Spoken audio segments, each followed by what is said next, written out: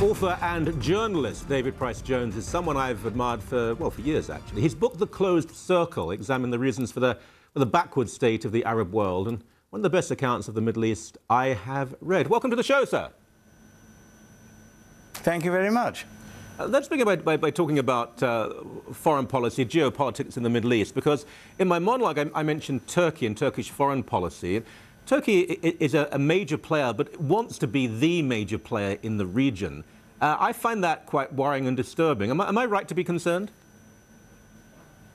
Well, they have a new policy, don't they, called Neo-Ottomanism, which harks back to the days when the Turks ruled the Arabs. And I think they see an opportunity, Erdogan sees an opportunity here to take over the prime role in the Middle East. And in order to do that, uh, to make himself popular, he becomes anti-Israeli and anti-Semitic. So he's whipping up a lot of sentiment in the Middle East, which is extremely dangerous. Mm. There, was a time when Israel... Turkish, Turkish foreign policy has changed. Yes, I mean, Israel could count Turkish allies in, in, in, Iran and Turkey and, and, Egypt to a certain extent. And, and, and Israel now seems to be, if it goes on like this, it'll have no friends at all in the region. It'll be very isolated it will be very isolated. And that is what one of the things that Erdogan is doing. He's threatening, I see, the, in, the, in the latest news, is he's thre threatening to send Turkish warships to the eastern Mediterranean. Mm. So that, that would be um, a, a, very great threat indeed. And he's also saying that if Israel um, tries to develop the natural gas fields that it's found in its own waters, um, Turkey would stop it. So this, this, is, this is war, isn't it? These are threats of war. Is, is he playing a game or does he really mean that? Well, this is impossible to know, isn't it? I mean, one of the things that's so difficult with, with, with this part of the world is their shame and honor calculus. That he, felt, I think, that Turkey had been shamed by that Gaza flotilla story when nine Turks were killed by Israeli commanders and the Israelis refused to apologize. So Turkey's shamed. So then you have to recover that, you have to get back honor. And then you say things and do things that are irrational. Um, and this is what's happening now. What we can't know outside the loop as we are is whether he really means it or not. Does Ahmadinejad really mean to wipe out Israel with a nuclear weapon? We don't know. I mean, is that posturing? Is it to do with shame and honor? We, there's absolutely no way we can get inside the minds of those people. Mm. Iran, of course, Ahmadinejad, we assume a certain, uh, well, irrational approach. And not sophisticated leadership. Turkey is different. We have in the Turkish leader a man who, who is not a fool and for years actually ha has appeared to be far more moderate than he does now. Well, I think that he's been um, pushed towards this Islamism by several factors.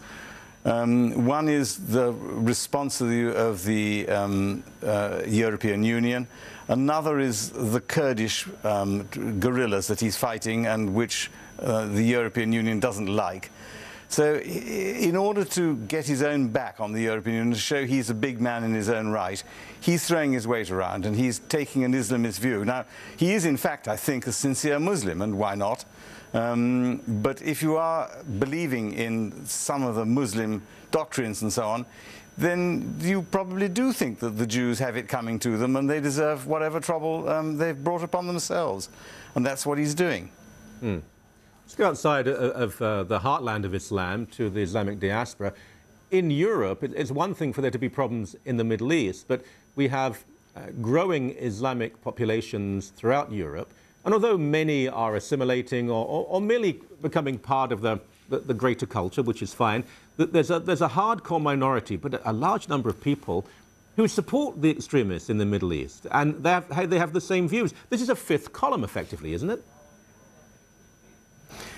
Well, I, am afraid it probably is. I mean, one, one, would wish it to be otherwise. I, I mean, if they don't assimilate, um, then we are in, the whole of Europe is in very great trouble indeed there are a certain number, only a restricted number, thank God, of, of, of imams and extremists and um, Hizb ut-Tahrir and people of that sort who actually believe that there should be a confrontation and that they will one day, through, through Islam and through violence, um, rule the continent.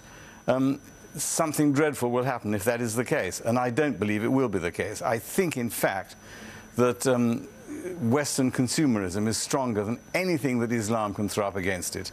And therefore, in the end, they will assimilate on our terms. Um, that's what has to happen. We have to meet on equal terms. If, if they are superior to us or we are superior to them, it can only lead to violence and um, horror. Mm. It's a very interesting analysis. I do hope you're right. David Pryce-Jones, thank you so very much indeed. Thank you.